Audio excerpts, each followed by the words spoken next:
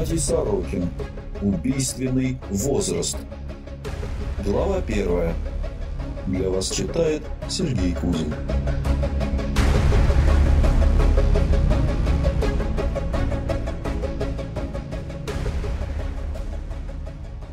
В среду 17 ноября 1982 года телефон в кабинете инспекторов уголовного розыска Ленинского РОВД зазвонил около 9 утра. Проснулись. Недовольно проворчал инспектор Лукьянов. Ни свет, ни заря, а кто-то уже названивает. Не дай бог, из дежурки. На улице мороз за 30 градусов. На происшествие ехать совсем неохота. Кашлянув в кулак, Лукьянов поднял трубку. «Милиция!» Официальным тоном представился он. Помолчав пару секунд, Лукьянов положил трубку и сказал. «Игорь Ефремов, тебя к начальнику РОВД вызывают». «Ты ничего не натворил?» Встревоженно спросил коллегу Буторин, прокуренный ветеран сыскного дела. «Когда бы я успел?» Нахмурился Ефремов. Вчера до позднего вечера работали, пришел домой, лег спать. Утром на работу понятия не имею, зачем я начальнику сдался. Просто так Балагуров вызывать не будет. Позевывая, высказал свое мнение Лукьянов. Ты на прошлом дежурстве ничего не учудил? Да нет же, черт возьми, нет за мной грехов. Я чист, как ангел после бани. Игорь подошел к мутному зеркалу, скептически осмотрел себя. Сколько раз хотел перенести галстук на работу и все забываю. Недовольный собой подумал он. Придется идти к Балагурову одетым как колхозник. Хорошо было при старом начальнике. Он на внешний вид подчиненных внимания не обращал. А новый, говорят, в этом деле строг. Девчонкам из секретариата запретил приходить на работу в коротких юбках. За неимением галстука Ефремов застегнул верхнюю пуговичку на воротнике рубашки. «Так лучше будет», — решил он. «Ну, я пошел!» Игорь одернул пиджак и сделал шаг к двери.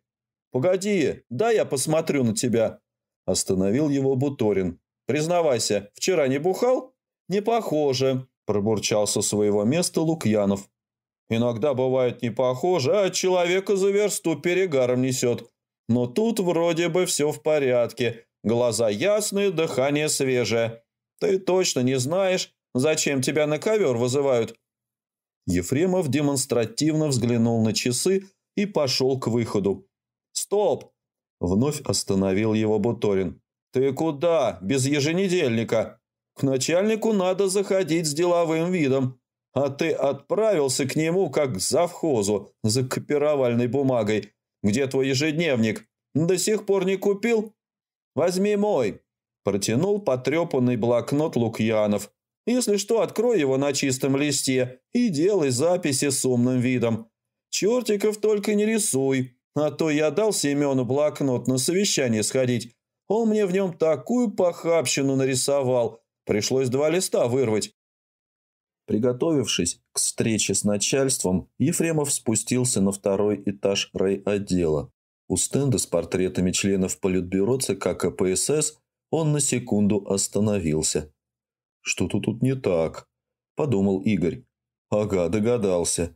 Вместо Брежнева в центр Политбюро поместили портрет Андропова, а бывшее его место пока пустует.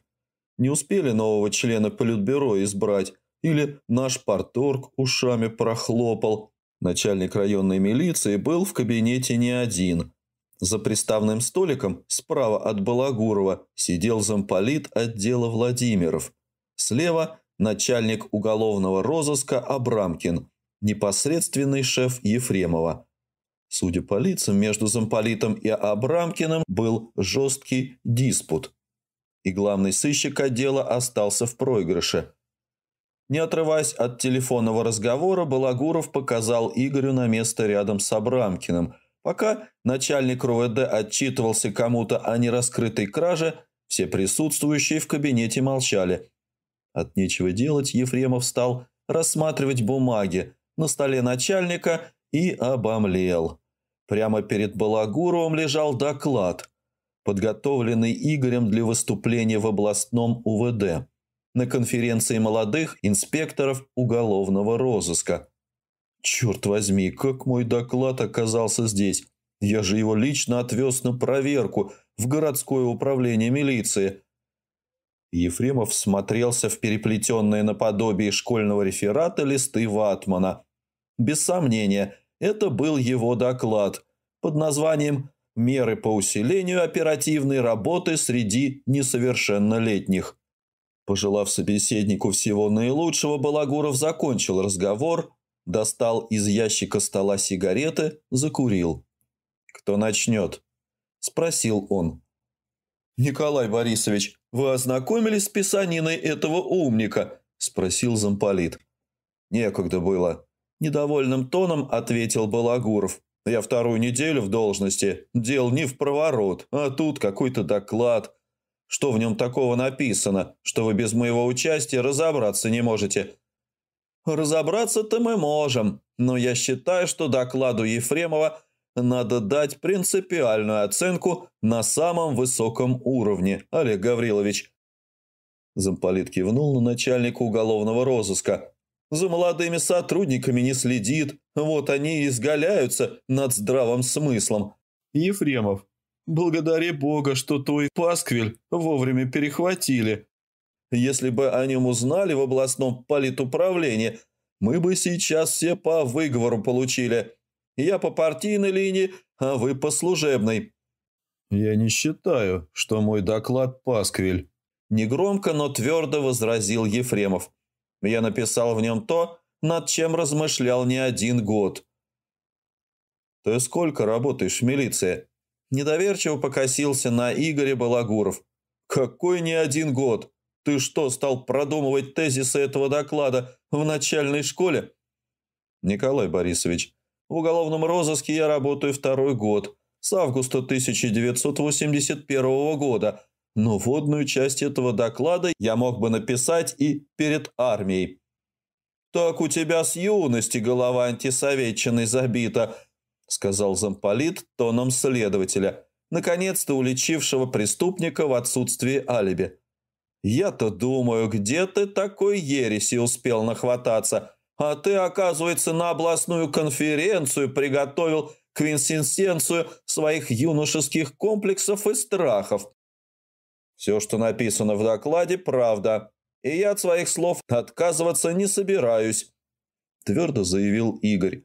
Чтобы успешно работать с трудными подростками, надо смотреть на жизнь с их позиции, снизу, а не сверху. В его докладе есть здравые мысли. Впервые подал голос Абрамкин. «Какие?» – встрепенулся Владимиров. «Ты сам-то читал эту дребедень или на его наставника свою работу свесил? Кстати, кто у Ефремова наставник? Буторин?» «У меня мало времени», Прекратил начинающийся спор начальник милиции. «Кто мне объяснит суть вопроса?» «Давайте я», – предложил Игорь. «Начинай». Балагуров через стол перекинул ему текст доклада. «Постарайся быть кратким. Вступление о политической обстановке в стране и мире можешь пропустить». Ефремов перевернул доклад титульным листом вниз, достал из кармана авторучку, нарисовал на обложке несколько квадратов – и начал. Чтобы разобраться в проблемах современной молодежи, особенно юношей до призывного возраста, надо посмотреть на жизнь подросткового социума изнутри, а не с позиции взрослого семейного мужчины. «Я даю тебе 10 минут», – воспользовавшись секундной паузой, вставил начальник милиции. Честно говоря, спешить ему было некуда, но перед подчиненными, особенно в первые дни работы, Полковник Балагуров обязан был выглядеть очень занятым человеком. «Я уложусь», – заверил Ефремов. Спросив разрешения, в кабинет вошла секретарь, начальник РОВД. Молча поставила перед ним стакан чая с лимоном и вышла, плотно прикрыв за собой дверь. Абрамкин, чтобы не встречаться глазами с Владимировым, стал рассматривать схему, нарисованную Игорем –